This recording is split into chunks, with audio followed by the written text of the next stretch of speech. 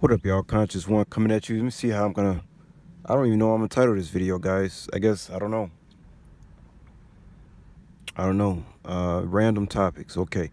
So people been telling me out there, uh, look a little deeper.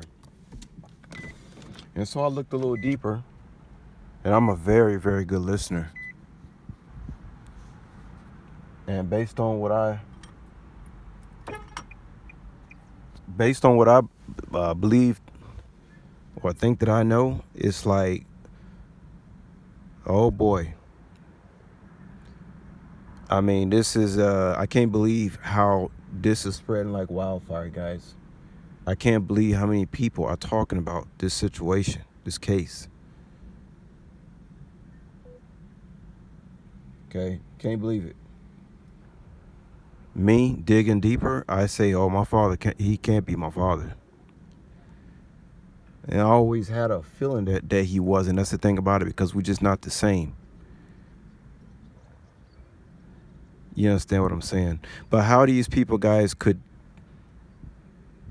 try to torture me like this, I mean, they must have really had a vendetta against my real, my real father, aka grandfather, but probably my father because shit shit wouldn't be going down like this unless there was a big big secret, a big big uh, illusion that I was put under.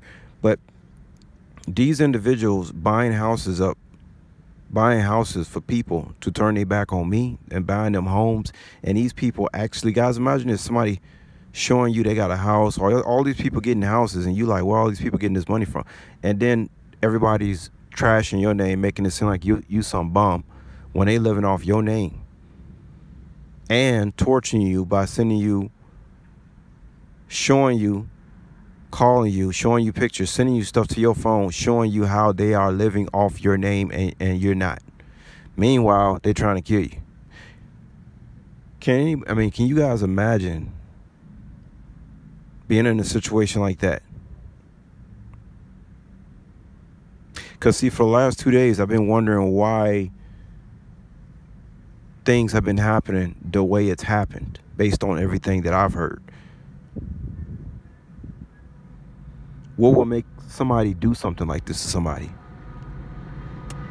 Okay, and obviously, hold on for a minute, y'all. Obviously, you gotta be capable of thinking very objective about things to try to figure things out. That's the only way you can really solve a case is to think about something very, very objectively okay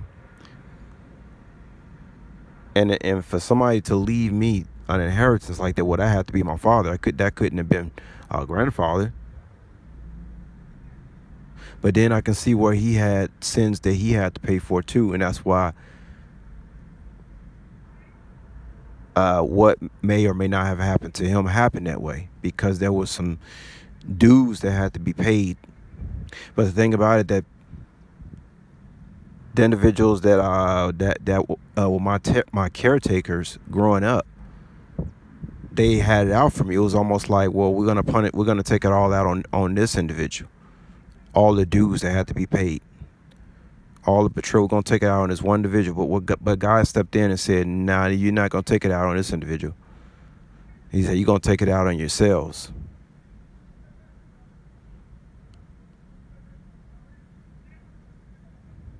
And all these people that I that I know that have been involved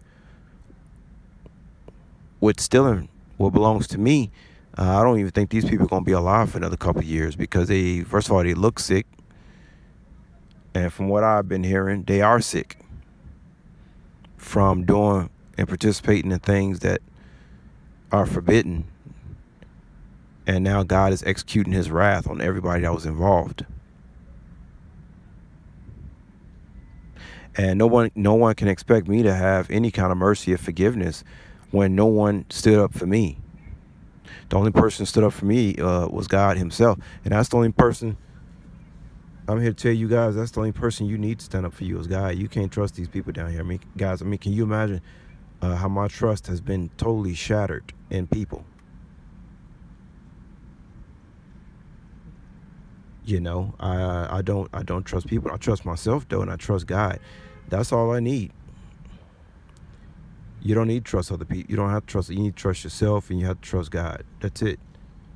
Everything else is uh, it's a liability. You know, everything else is a liability. You Can't trust it.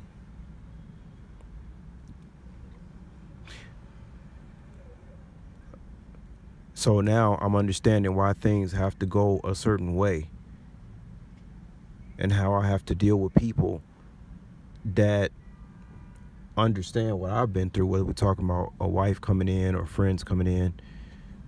It appears that I'm going to be dealing with people who went through similar things as me and the, and the way God set that up and the way the justice system is setting things up, it appear it appears that justice will be served very soon. And uh,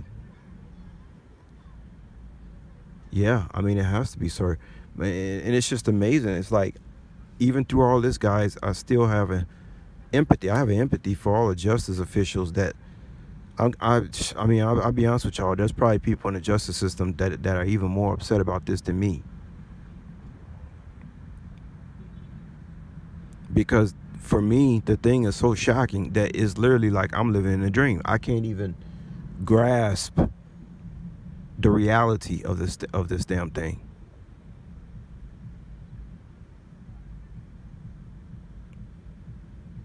But there was definitely a lot of vendettas going on in the family and they they tried to take it out on me and it, it didn't work. It backfired on them it backfired.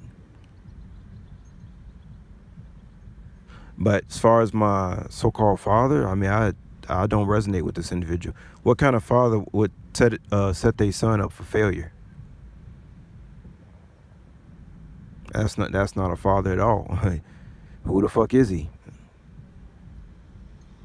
Could be an older brother. Could be a half brother. So now everything all I mean, it's just I mean, guys, can you imagine coming to the realization that You've been living in an illusion all these years. It's literally like I'm in in a dream. But yeah, um,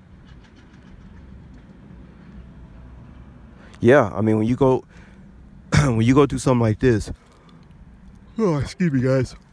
You gotta you gotta be around people that uh, been down uh, similar steps you have because you know uh, you, other people are not gonna be able to uh, grasp what I've uh, went through and understand why I am who I am and stuff like that.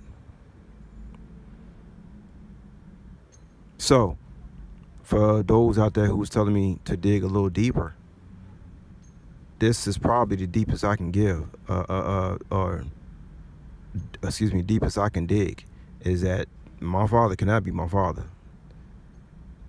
You know, if if this much is if this much belongs to me, and these people called it was this much chaos going on all around me.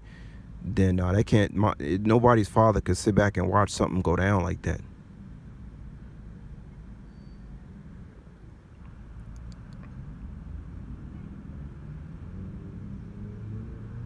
It doesn't make any sense.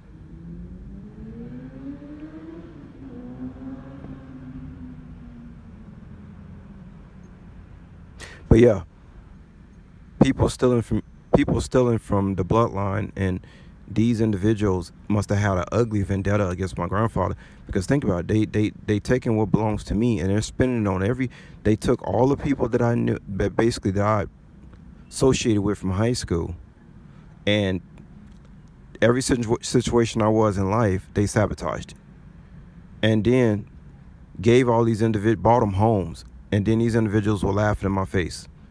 Uh drinking, God God knows doing maybe doing orgies and drinking and, and having toast over my demise and them living off my name. Meanwhile, I'm not knowing and they just thinking the whole thing is funny. Guys, that that is the most wickedest, disgusting thing anybody could ever dream of. To do that to somebody. I don't care who we talking about, you know, whether the person is related. I don't care who it is. That's one of the most wickedest, disgusting things that anybody could ever do to somebody. To torture somebody. That's basically putting somebody down, but not only putting them down, kicking them while they down, spitting on them while they down. And like I said before, regardless of what these individuals profited off my name, off what belonged to me, they still looking at what I'm doing. And that goes to prove to you guys that money does not make you money does not make you happy. If you give somebody all all this stuff and they still wondering what, what wondering about what so and so's up to, what does that tell you? That tells you that you know richness comes from the inside, doesn't come from outwardly things. You have to be rich on the inside. You know, uh, again, I don't got the jury on me. I got the jury in me. Because you got individuals sitting up there living in the house right now that are not even happy as I am. Wait, I thought I thought it was all gravy to laugh at me and, and have you and get drunk and everybody toast on my demise. Let's give a toast to this to this anointed person's demise while we live off his name. As if that wasn't as if enough damage hadn't been done. Oh boy, these these individuals, guys, don't don't worry about me. We already know where these people are going. We already know what they what they're dealing with right now internally. Diseases. God, my ancestors are making sure that these people are gonna experience wrath, not only in afterlife, they they're gonna experience wrath in this world and in afterlife. It's not gonna end. You're gonna have people wishing to die. They're not gonna die, and even when they and even when they do die, they'll still they'll still be uh, uh, being punished. It's not going to end.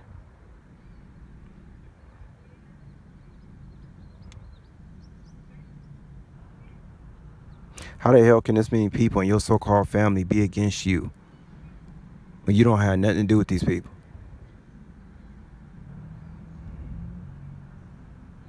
So like I said, y'all, you know, um,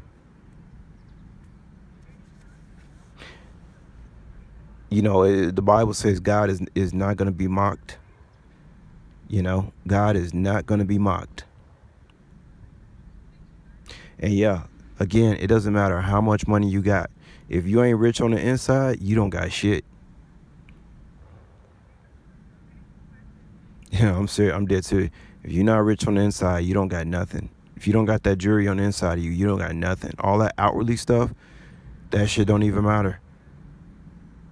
It's just like anything else, man. It's just like when I don't know, Xbox came out and you buy that video game from the store. Now, now you you think you the hot shit because you the first one to get that video game off the shelf.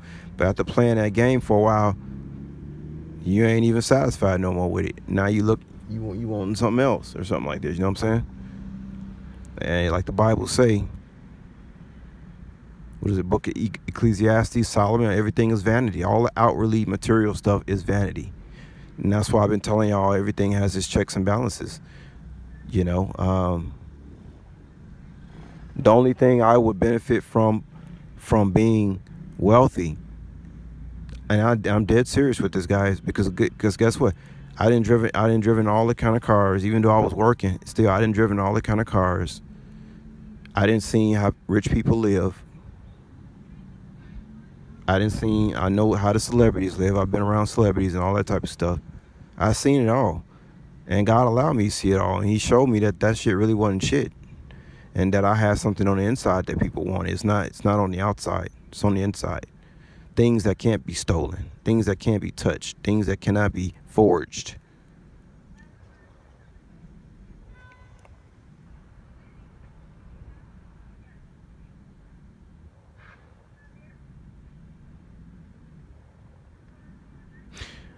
Boy, boy, boy. I tell, I tell y'all, boy. So I've been digging deeper, as y'all see, and yep, that's all. That's all I can come up with. You know, things are not what they appear to be. You know what I'm saying?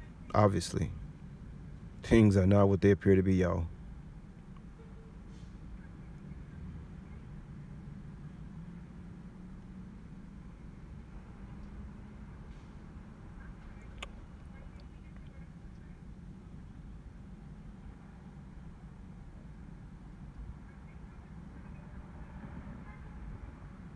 And it's crazy too because all you know I hear that all these people that benefited off off my back. Uh oh, Yeah, that's good because I got to end this shortly anyway. Guys, they these people, I ran into these. Let me tell y'all something, man. God has shown me his wrath on these people. Hold on. G- guys, God has shown me the wrath on these people, and it's not pretty. Listen, guys. They tried to send in what, what they tried to do. They tried to send in. They tried to send in the ex. Think about this, guys. They tried to send in an ex of mine's to try to see if they can get in my world. And guys, God let me see every single body that's that's uh, that's got this illness they got. I've seen all of them, guys. I've seen all of them in, in person. They all got the same look about them. You can tell you can tell they're dying. All these people that betrayed me, they all they got an illness. I seen I seen these people. God allow God allowed me to see these people once or twice in the past one or two years. I've seen these people. They all got the same look about. It. They all got the same illness, guys.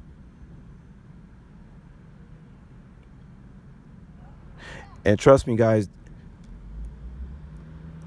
when I say I got empathy but no sympathy, it means I have empathy, meaning I care about people enough to help somebody and make sure to want to, to, to, to make sure they do the right thing. But when people choose the wrong thing, I don't give a damn about them. I don't have no sympathy for people that chose that chose darkness over light. Uh-uh. No. And guys, trust me when I tell you, I do this is not something I'm smiling about and gloating about and saying, well, that's why they this and that's why. No, guys, this, this is terrible. Uh, I, what I'm saying, why couldn't these people just make the right choice? How, how can just not one of them have made the right choice? Just one. How could just not one of them came to me and said, "I'm going to make this right for myself because I know what's being was being done to this chosen one. Uh, this could be a serious backfire, and I don't want no part of it because I see what's going. On. How can one? How could one person, guys, not come forth? Not one. Just go along and get along. That's all people do. Seek validation. Go along. Get. That's all. Get. That's what I'm telling y'all, man. My whole like the way I see people no more is not the same.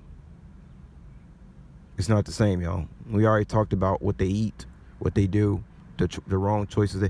Get, guys, this has got to be a level of hell because you're sitting back and you watch, like I told y'all, you watch people make all the wrong choices every day. That that's hell. When you get up and you have no choice but to poison yourself, and until you decide to take life by the harness and say, no, I'm gonna control what I put in my mouth or I'm gonna control what I watch on TV. I'm gonna control what I put on my skin, et cetera, et cetera, et cetera. And then you start to get better and better and better and better. And you notice when you start going on that path, a lot of people start becoming your enemy. They become your enemy because you're making the right choices for yourself.